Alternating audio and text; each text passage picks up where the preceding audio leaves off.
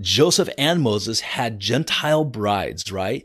Before that, they were both rejected by their own, and then they have Gentile brides. But then what happens? They both save all of Israel during a time of great trouble. God has them both save all of Israel, and then he unites his Gentile family to his Israeli family as one family forever and ever. And this speaks of the exact same plan that Jesus has in the book of Revelation. And it's so exciting, you guys. And we're going to look at that in this episode. So here we go.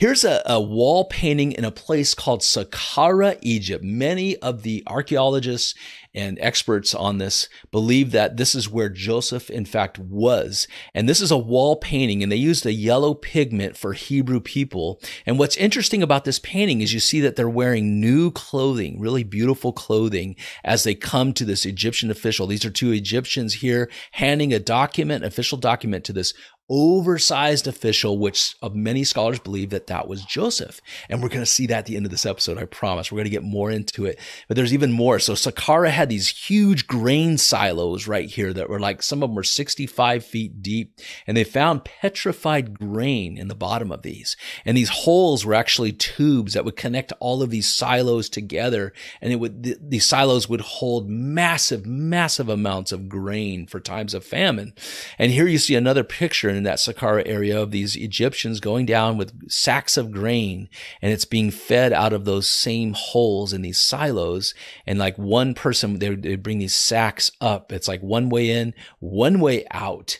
And I believe this is where Joseph was. It's really interesting stuff and it's awesome. We're going to look, get into that too in this episode, but primarily we're going to be looking at how you can understand the book of Revelation, the end times events through the story of Joseph and through Moses. And it's super exciting. And by the way, my friend, if you have not subscribed to my channel, you might want to click that button down there and the bell too, and you're going to get everything. Right now, we're doing a series called Jesus in the Old Testament, how to find him in the Old Testament, and it's so exciting. We're still in Genesis, and the next episode is going to be, you guys, on Joseph, and I'm super excited about that. I hope you are too. And comment down below, even if you disagree. I love your comments, you guys. So let's get into this presentation right now. So, Joseph, right?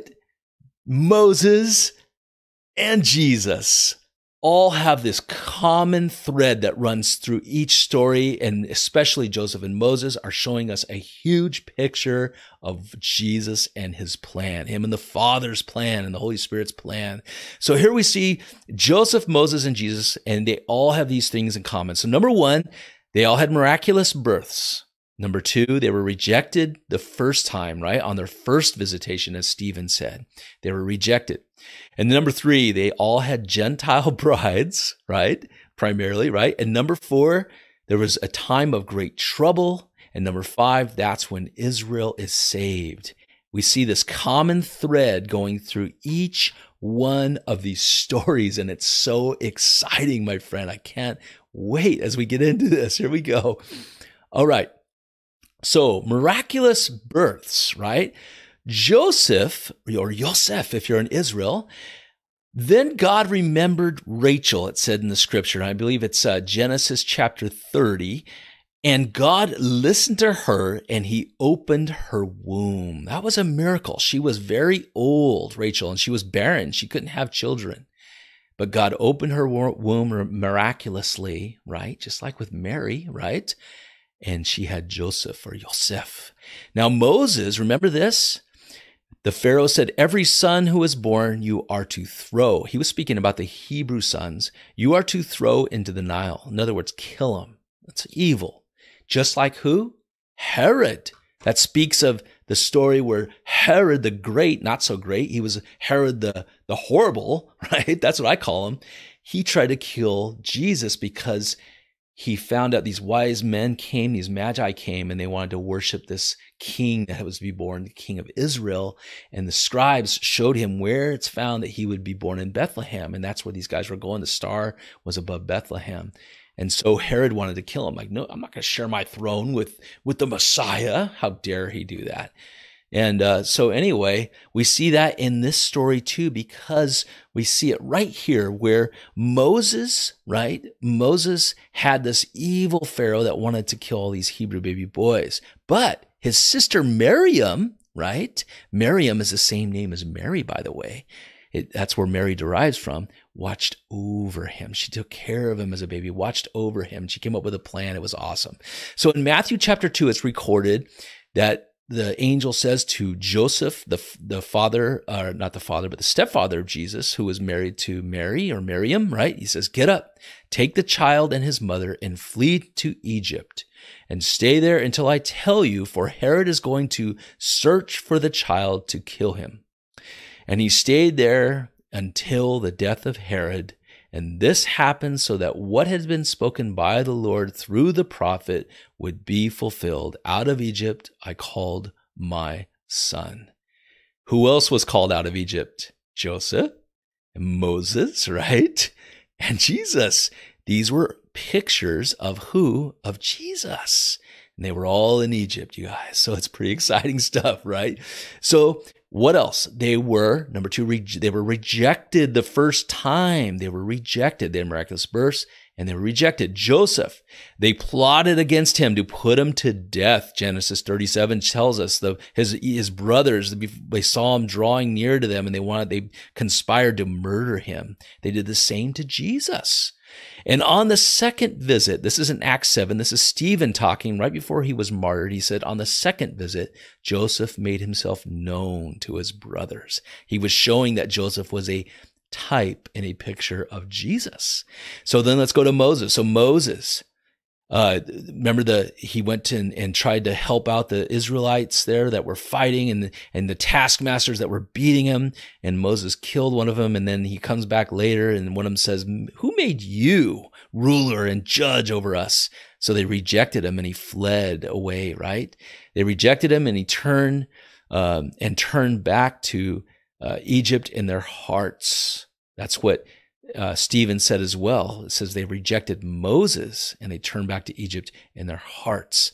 And that speaks of what the children of Israel were doing.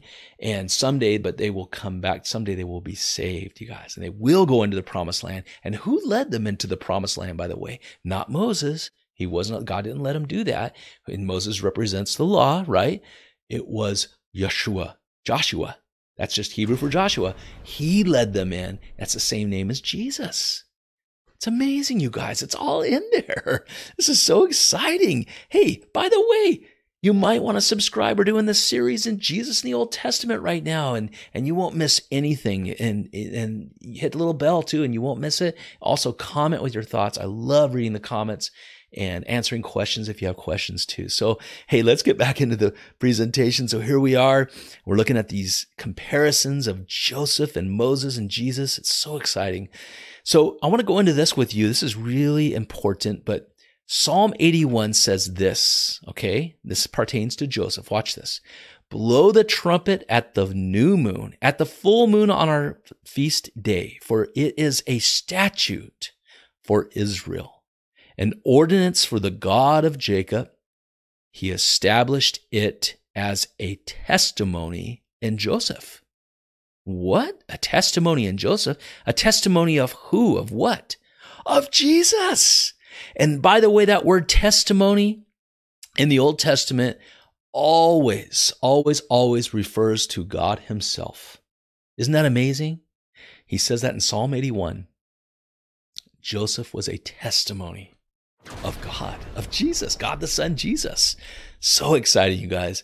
All right, let's get back into it. So the, the third thing was they all had Gentile brides. Let's look at it right now. They have Gentile brides. So Joseph, right? Pharaoh named him Zaphnath Paneah, right? When he interpreted those dreams and he's standing before the throne, right? He was raised up out of that place of the condemned, standing before the throne. Huge picture of Jesus, by the way, right there. And Pharaoh, he who sat on the throne, named him Zaphnath Paneah, which means, which means God speaks and he lives. Jesus, the word of God, right? And he lives. oh, wow. And he gave him Asenath, the daughter of Potiphar, priest of On, to be his wife. She was a Gentile. So Joseph had one bride and she was a Gentile. Now let's go to Moses. So here we are in Moses. Now uh, it says that now in the, the priest of Midian, right? The priest of Midian, that's Jethro, the father of these seven brides, had seven daughters, right? And what did Moses do at that well? Remember, those seven brides were being harassed by the shepherds and Moses drove them away. He protected them from those evil shepherds, and they were seven Gentile women. What does that speak of? The church. Oh, this is so good. Watch it. You're going to see it. And he gave his daughter, then he gave his daughter uh, Zipporah, right? Zipporah, excuse me, to Moses. So he had, there was a seven Gentile daughters that he saved, but then he marries one Gentile bride, just like Jesus has one Gentile bride. Now we know in the book of Revelation, chapter one, it says that the seven lampstands and the seven stars, right, are the seven churches. Whoa, there's seven Gentile churches. Okay, this is an archway called the, the Archway of Titus. It's in Rome. You could see it today. And in it, you see this carving. And it's the picture of after 70 AD when they destroyed the temple and they took the menorah, the seven golden lampstand, right? Out of the temple. These are like um, these are like the exploits of what they did of their war, right? And then this is the table of the showbread, and this came from the temple, you guys, the holy place, the temple. These are holy things, and this is the the showbread. But what it shows me is that God ended up sending the church through all of Rome and all of the whole world. That's where he sent out his church. And this was actually a symbol of what God was allowing to happen. But someday this, right, the menorah is going to be back in Jerusalem, right? The bride of Christ, the church, he's going to, we're going to be back in Jerusalem. And they already made a menorah. It's getting ready. The Temple Institute, they built this gold menorah and it's ready for the new temple that they're going to build back in Jerusalem today. So exciting times right now. And then the table of showbread speaks of the bread, the body of Christ, right? So exciting. All right. So then the next thing, there's a time of great trouble in both stories, right? So Joseph, there was a seven years, there's seven years of famine. They will come, they will ravage the land, he said. This is a time where, you know, the famine was, it says in the scriptures, was spread all over the entire face of the earth.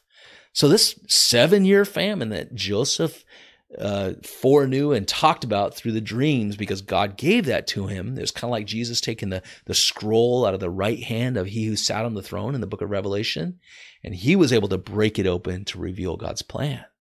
So, what we see in that is there's a seven year time of great trouble all over the whole face of the earth, like this famine. And what happens? Israel gets saved. His brothers come back to him and he forgives them. And so here we go. Let's get back into it. So, Moses, right? Moses, it, uh, he was with his Gentile bride in the Gentile land, shepherding, and God surprises him and comes to him and says, I've heard the cries of my people Israel, and I'm going to send you back. And Egypt is a type and a picture of the world, and Moses being a type and a picture of Jesus. And he's with his Gentile bride, and he's shepherding the Gentile flock, and God calls him back, right? His bride's with him. But he calls him back to go where? Back to Egypt to save who? Israel. So awesome. And the plagues in that, that when he goes back to Egypt, are the same plagues that you see in Revelation. Whoa. Wow. So Moses, uh, God says to him, their cry for help. Um, I've heard their cry for help, God said uh, because of their bondage ascended to God, the scriptures say, and Israel from the land of Egypt by great judgment. So he delivers Israel from the land of Egypt by great judgments. And who did that? Moses. God did it through Moses, right? So then remember, this is the last thing Israel is saved. That's what happens in the book of Revelation, you guys. If you look at it carefully, the 144,000 sealed by God, these specially selected from the 12 tribes of Israel, 12,000 from each of the 12 tribes, named by tribe. These are Jewish people that God seals and anoints them specially and protects them in that tribulation period, that seven year time of great trouble. And he saves them. God saves them. So we see that in Revelation, we see it in Joseph's story, we see it in Moses' story. Let's get into it right now. Let's let's check out that that presentation on that. So Joseph's brothers came, remember this is during the time of the great famine, and they came and they bowed down to him with their faces to the ground in fulfillment of his dreams, right? Remember that? Those God given dreams. What? He wasn't a spoiled brat. He was just telling them his God given dreams. And here they are fulfilling what he had dreamt. And then God sent me, he says, Joseph said this God sent me ahead of you, he tells his brothers, after he reveals who he is to them, to ensure for you a remnant on the earth and to keep you alive by a great deliverance. Those are some of the most beautiful words in the book of Genesis. And here he is, a picture and a type of Jesus forgiving his brothers who wanted to kill him, conspired to murder him, and sold him down the road to the Gentiles. So then we see Moses, right? So Moses, Moshe, if you're in Israel, right? Moshe. The Lord brought the sons of Israel out of the land of Egypt according to their multitudes. And then they sang the song of Moses after they parted, went through that parted Red Sea and their enemies were crushed behind them. What does it say? They sang, The Lord is my strength and my song, and he has become my salvation. That is so good. So as promised, here we are, guys. As promised, we're going to go look into this, these artifacts and these, this archaeology in Saqqara, Egypt. And it shows a lot of, I believe, what is Joseph and his story. So let's look at it right now. All right, here we are. So these are Semitic people. All of the the uh, experts agree on that. They used a yellow pigment for them, um, and this is right around Abraham and Isaac and Joseph's time when when this was made in Saqqara, Egypt. These are two Egyptian officials with this document to this oversized official with a sickle in his hand and a rod in his hand. This speaks of Jesus, you guys. I think this picture is Joseph. That's just my conjecture. I could be wrong, but I believe that that's him. And and these people all come back to them and they're all wearing new clothing and they're they're shepherds and they have their herds or goats here and and it's interesting, right? There's a donkey carrying uh, something here and these guys are playing a lyre, right? I think these are the Hebrew people. I think these are Jacob's family, Joseph's family coming to be saved. And it's on the walls in Saqqara, Egypt. It's amazing. Here's where Saqqara is. It's right about here, kind of near Memphis of, of Egypt, uh, near the Nile River. Israel's up here, of course. Um, Jerusalem is right up in this area up here. And so we see that on the map. Here's those grain silos, those massive, one of them, one of the massive grain silos that were all connected with these tubes that were like pipes that would flow the grain down so that they could fill sacks. And here's the one way in, one way out uh, drawing of what it was. And they actually found the steps and how this worked uh, there as well. And you can see they're carrying the sacks of grain out of that place. So here's that picture, this line of, of the Hebrew people lined up and the, they're carrying a document to this oversized official. Amazing. So what's interesting is right here, you guys, check this out. Right there on the wall painting, there's an Israeli, or excuse me, a Hebrew man, and he's bound. He's bound. Is this Simeon or is this Joseph himself? Is this showing a picture of what happened to Joseph? I don't know. But it's interesting that there's one of them is bound right there. Here it is a little bit closer up of it. So, and that's uh, part of the whole story that they painted here on the walls of Saqqara, Egypt. Interesting stuff, right? Wow. All right, Genesis 45 says this Then Joseph said to his brothers, Please come closer to me. And they came closer, and he said, I am your brother Joseph, whom you sold to Egypt. Now, do not be grieved or angry with yourselves because you sold me here. For God sent me ahead of you to save lives, including theirs, right? And he kissed all of his brothers and he wept on them. And afterwards, his brothers talked with him. This was a, an amazing moment of this reconciliation during this seven year time of great trouble, where they finally recognize their long lost brother, whom they thought was dead and out of their lives, out of the picture, and he's alive. Jesus Yeshua HaMashiach, he's alive.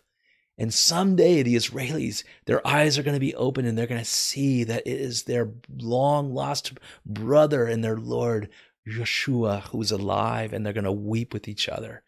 And we're going to see that in the scripture right here. Watch this. Here it is Zechariah 12. And I will pour out on the house of David and on the inhabitants of Jerusalem the spirit of grace and of pleading and so that they will look at me, whom they have pierced, and they will mourn for him. Wow. You see, that chapter, Zechariah 12, also says that each of the 12 tribes will weep over him as a firstborn, just like each of Joseph's brothers wept with Joseph. Wow, that all fits together, you guys. It's all threaded together in the Old Testament. Yeshua, Jesus, he's the, the scarlet thread that runs through all of it. It's amazing, is it not? So good. And then we go back to Moses' story, right? The Red Sea was parting. They walked on dry land with walls of water on the both sides. And they were on the other side, and it was the 17th day three days after Passover, right? Remember, Jesus was raised from the dead three days after Passover. And what happens? What happens, my friend? After they go through, they sang the song of Moses. Miriam, right? Mary, where she was playing her tambourine and singing. And here it is in Revelation. Revelation 15 says this, and they sang. Who's they? Those who were sealed by God, the 144,000 Jewish people. And they sang the song of Moses, the, the bond servant of God, and the song of the Lamb, Jesus, saying, Great and marvelous are your works, Lord God, the Almighty. Righteous and true are your ways, King of the nations.